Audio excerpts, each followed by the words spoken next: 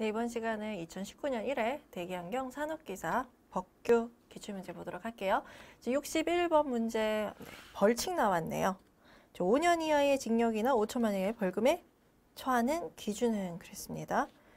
저기 5년 이하 5천만 원 되게 많죠. 여기 1번에 해당하는 게 5년 이하 5천만 원의 벌금이에요. 우리 벌금 기준 한번 볼까요? 우리 벌금.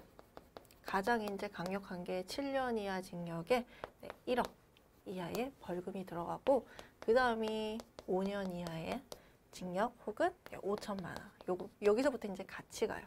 그 다음 3년 이하 징역에 3천만 원. 다음 1년 이하 징역에 1천만 원. 그 다음에 이제 벌금이 뭐 500만 원, 그 다음 300만 원, 100만 원 이렇게 나가게 되거든요. 그래서 이렇게 7년까지 가면 올라가면 올라갈수록 훨씬 더 강력한 이제 심각한 범죄를 저지르는 거죠. 그래서 여기 지금 1번 연료 사용 제한 조치 등의 명령을 위반한 자 요거는 5년이고요. 그다음 측정기기 나왔네요. 조업 명령 종, 정지 명령 측정기기에 관련해서 조업 정지 명령을 위반한 사람 이거는 1년입니다. 1, 1년 이하 1천만 원. 다음 3번에 배출시설 설치 금지 장소에 설치해서 폐쇄 명령을 받았어요. 그래서 폐쇄 명령을 받아서 배출시설의 폐쇄 명령, 사용 중지 명령을 이행하지 않은 사람, 여기 이제 가장 심각하죠. 그래서 7년 이하 징역에 1억. 그 다음에 4번 첨가제를 제조 기준에 맞지 않게 제조한 자, 요거는 어디에 들어가요? 네, 제조 기준에 맞지 않게 자동차 연료 첨가제 총매제를 제조한 얘도 굉장히 심각하죠. 그래서 7년 1억에 들어가게 돼요.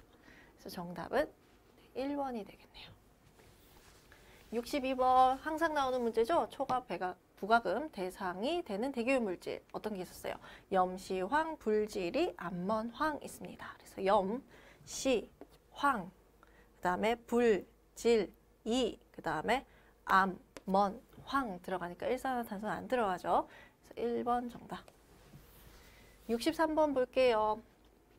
종합계획, 그러니까 대기 환경 개선 종합계획에 포함되어 될 사항이 아닌 거 찾으래요. 그래서 종합계획이다 보니까 좀 더 이제 큰 거, 아주 큰 나라에 관한, 우리나라에 관해서 들어가야 되는데 지금 보니까 1번에 보니까 시군구별, 온실가스 배출량 세부 명세서가 있어요. 이건 필요 없죠. 전체가 필요할지 몰라도. 그래서 1번이 틀렸습니다. 그래서 대기 환경에서 종합계획 수립할 때 들어가야 될 게 굉장히 많은데요. 저 그걸 다 외울 수는 없지만 아, 넓은 것들이 들어가는구나. 그래서 뭐 기후 변화에 관련된 거 아니면은 이제 전체적인 배출 현황이나 전망 이런 게 들어가는구나 그렇게 기억을 해주세요. 64번 볼게요. 네, 대기환경 정책 대, 환경 정책 기본법에 대기환경 기준 나왔죠. 납은 얼마였어요? 우리 연간밖에 없죠. 납이 0.5, 그 다음에 벤젠이 5였죠. 그래서 납이니까 1번 정답이네요.